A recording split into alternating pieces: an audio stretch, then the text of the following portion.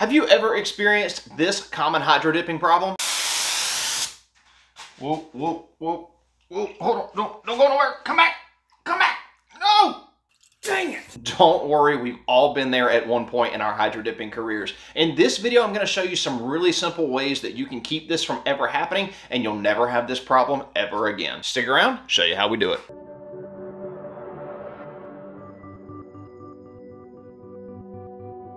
Welcome to ATF Hydrographics and another edition of our video series that we like to call Just the Tip where we give you guys at home great tips and tricks on how you can become a better DIY hydro dipper. Now, if you've been hydro dipping for a while, you may be like, no, duh, I know how to fix this. Stick around and watch the entire video. You might actually learn something. But for you new folks and beginners, let's go into why you're having this issue and then show you some simple solutions on how you can fix it. So hydro dipping films like this are designed to absorb water. Once they absorb enough water and they become fully hydrated, you spray your activator over the top of it. That turns it into a liquid and the ink will stick to your painted part. When this film is just sitting on the water and hydrating, soaking up water, it will stay together just fine. But as soon as you spray activator on it, it's gonna turn this nice sheet of film into a liquid. And without something to hold all of that liquid into place, it's gonna do exactly what you saw in the intro and probably like you've experienced, it's just gonna start floating away. Now what a lot of people do, and one of the huge mistakes that I see people do, is to keep it from floating away, they grab their tape and they start taping all four sides of this film up to try to keep it together so that it's not flowing all over the place. And then you wind up with a piece of film that looks like this that is taped on all four sides. Now while you can get away with this, sometimes it is not the proper way to do it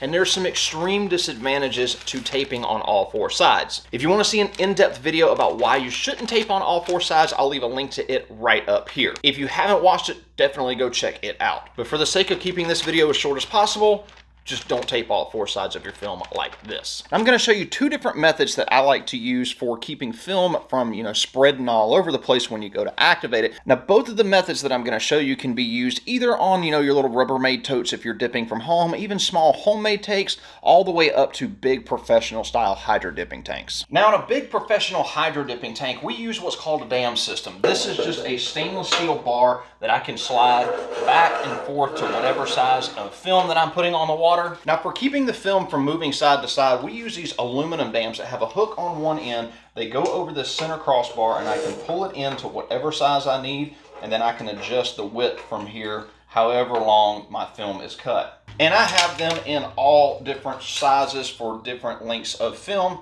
And I've probably got about 20 or so different sizes that I use on a regular basis. Now this setup really is the ultimate in adjustability and this is more for professionals because making all these different size dams and having this big tank gets really expensive. Now I don't have a Rubbermaid tote to show you so we'll just use this and pretend this is you know your Rubbermaid tote tank that you have built at home. Now this first method I'm going to show you for making your own dam super cheap and super easy. Just involves some regular old masking tape. You don't have to buy expensive masking tape. You can buy Walmart brand, whatever, cheap, it does not matter. But what you're going to do is, let's just say your tote is about this wide. Take a length of tape that is longer than your actual tote. If your film is floating in one direction, just start on that side and run your tape all the way to the edge and then over on this other side. Now the key here is you don't want to lay the tape over the film. You want the tape to be just at the edge of the film. If it's got a little small 16th or a quarter of an inch gap, no big deal. Then you're going to take another long piece of tape and do the exact same thing, making sure not to lay the tape over the edge of the film. You want the film to be able to move side to side just a little bit. Then you're going to take two more pieces of tape and lay them in the opposite direction to hold your film in place.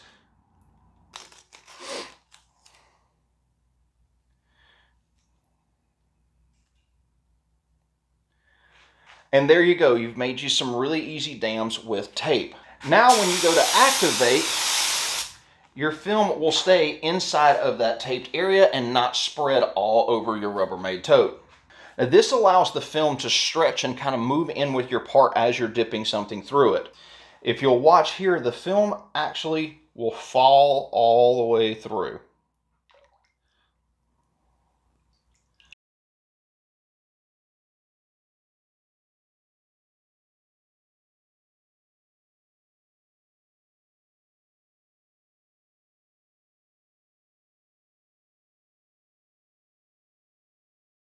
And then the way we do this with our aluminum dams, or if you want to make your own out of PVC pipe, I've seen people do it out of pool noodles. You can do it with all kind of different stuff. I like to make my dams out of aluminum. I don't have to worry about them rusting, and it's a little bit cheaper than doing it out of regular stainless. And same thing with the tape. You don't want the actual dams to be squished up against the film. You don't want to have any, you know, kind of cracking and where it's kind of folding up on itself like that. You want to have it just a little bit to the outside, give it just a little bit of room to expand out. And like over here where it's got that little bit of a gap because the film started to kind of roll up, no big deal, just leave it like it is. The other great thing about using adjustable dams like this is if you get up here, you've got your film all squared away, you're ready to go, you're about to dip, you get your part and you look and it's maybe to touch one of these two edges, you can always just come back and open these dams up just a little bit and that will allow the film to stretch out just a hair when you go to activate it so that you can get your part to fit down in there. This comes in really handy for me because I dip a lot of parts every day and sometimes I just not paying attention I cut the film the wrong size and I need just that little bit of extra. If I was using the tape method of taping all four sides or using the tape dams across each side and in the front and the back like in a Rubbermaid tote like I showed you previously, I would not have the ability to adjust this on the fly. And then when we go to activate, all the film stays contained within this dammed area. Now take this old speed shape that's already been dipped, give this a quick shot, pull it out of the water, and then I can move this dam, take this one, move all my film out of the way, and I'm ready to go for the next dip.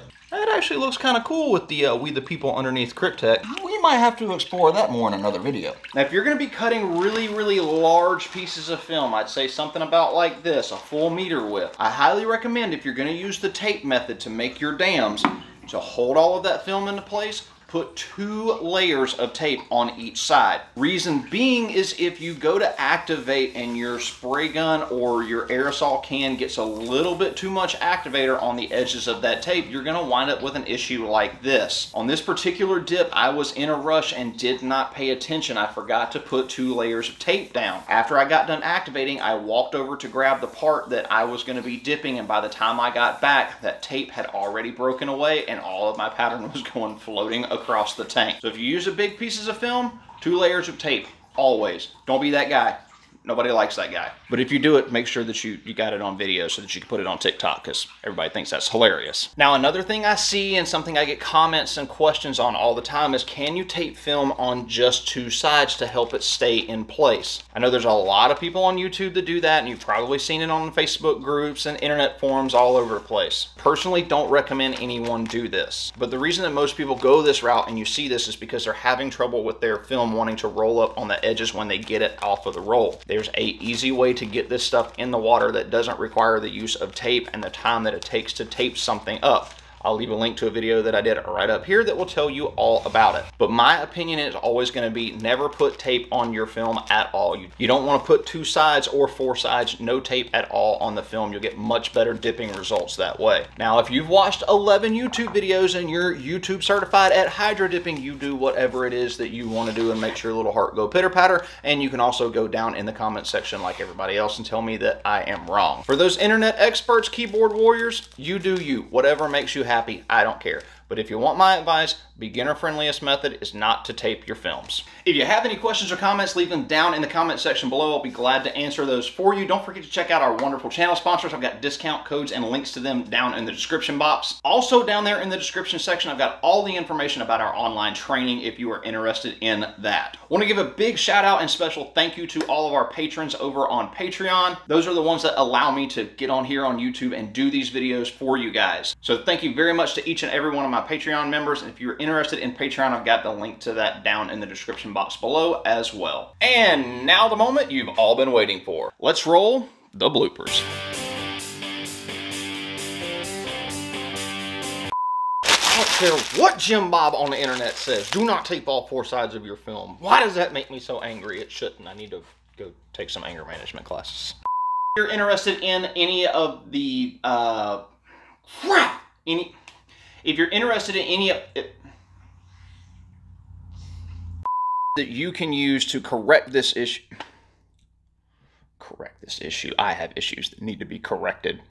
I have to worry about it going all over the place after you Have you ever experienced this? Why, why do I have to talk with my hands so much? Welcome to ATF. It's pollen season. Ugh. Got links to them down in the um, Here we go with the ums again. We're, we're back to ums. We, we were good for a while, but we're we're back to the ums.